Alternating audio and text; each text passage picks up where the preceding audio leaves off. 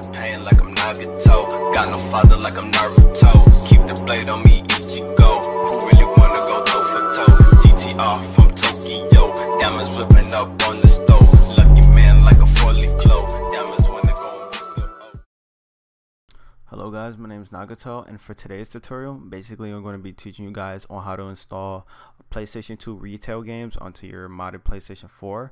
Um, this method that I am showing you today is the easiest method. Um, from the previous video I showed you on how to install dev builds and unreleased games and that method does take long and basically you have to make your content ID manually. You also have to basically make the P FPKG file, excuse me, basically from the ground up and it does take some time. Um, this method, what I'm showing you, is basically a GUI method, and all that uh, process is working in the background. So it basically, you, all you got to do is just take your ISO, open up the exe file, and it does all the work for you. And I'll show you that today. So in the description below, you should have uh, one file and it'll be a ps2.classic.zip. I've already extracted it, so what you would get once you extract it, um, you also need WinRAR2 by the way, or WinZip or whatever, or anything to basically extract these files out to the PC, and I also have that in the description. But once you have that on your desktop, go ahead, and now you should have two files or two programs excuse me and basically you have one folder. What you want to do now is go ahead in the folder go ahead and open up PlayStation 4 PS2 Classics and then what you want to do is go ahead and open up this exe PS4 PS2 Classics GUI exe and now what you want to do is go ahead and you can open it up full screen. And now what you want to do is go ahead and find your ISO in today's test I'm basically going to be using Need for Speed.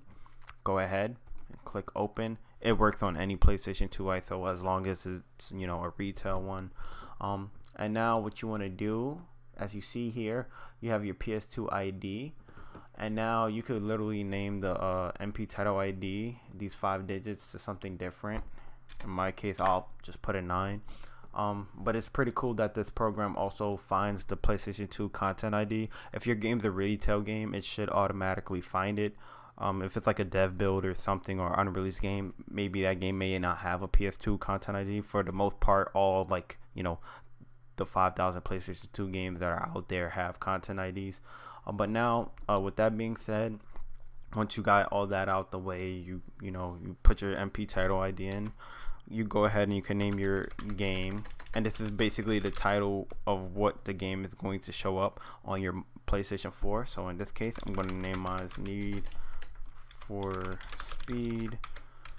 I'm spelling this all wrong. Need speed underground 2 and I'm just gonna put demo test.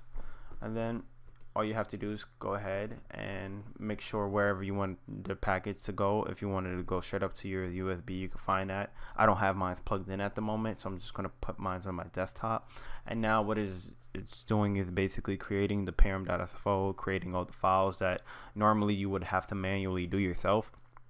It's just doing that now. And as you see, it may take a little while for it to move the ISO.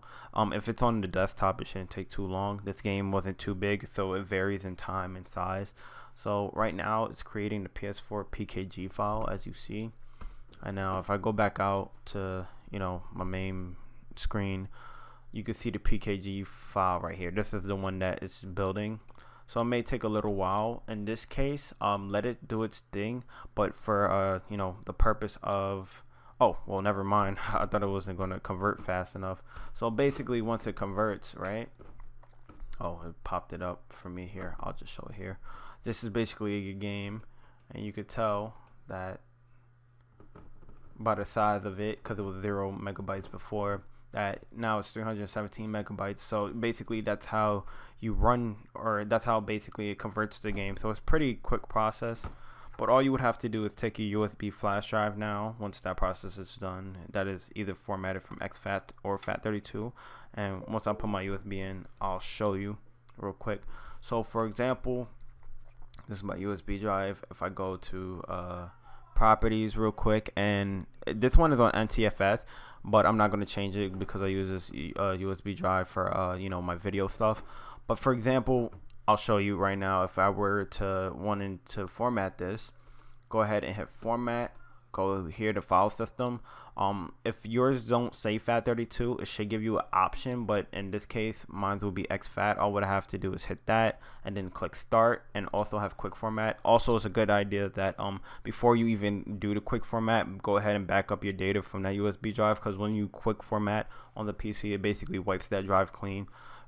So for the it to basically um you know get into that file system. So once it transfer or converts over to exFAT or NT or NTFS anytime, that's just generally how it works on PCs. But with that being said, you could go ahead and copy your PKG over. I already have this PKG already copied over to another USB, so I'm not gonna do this on this USB. But once you have it copied over your game, go ahead and to your PlayStation 4 and I'll meet you there and I'll show you the steps on basically how to install it using debug settings and then we're going to try to get the game to run. Alright guys so when you basically on your PlayStation 4 you want to go ahead and open up your internet web browser and then basically type in this website to boot up X project. And then the first thing you want to do is of course go ahead and look at the link on the URL right there. So http semicolon slash slash playstation dev dot wiki slash x slash index dot html go ahead and type that in then once it boots up onto your screen, go ahead and hit L1 to run ahead in 1.8. In this case, I'm not going to do that since I've already um did that previously in the video.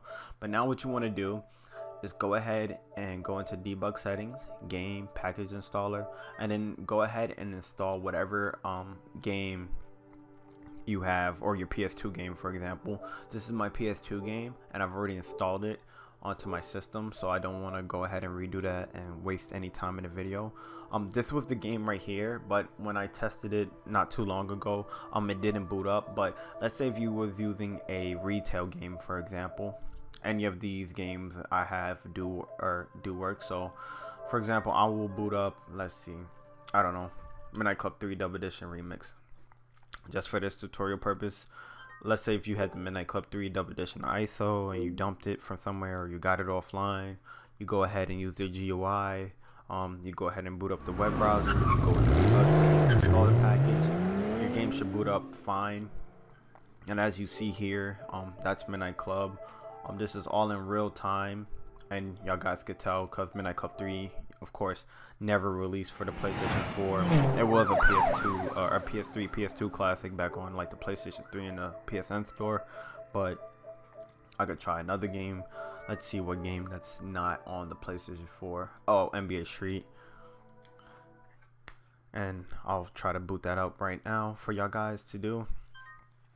So both methods work either if you want to do it like the long manual way but if you just want to, you know, run PlayStation 2 games, uh, the fast method, uh, this is the way to go and for, you know, beginners or you just want to test the game to see if it works before, you know, installing, like, you know, the whole process over again. With that being said, my name is Nagato and I'm signing out. Thank you guys.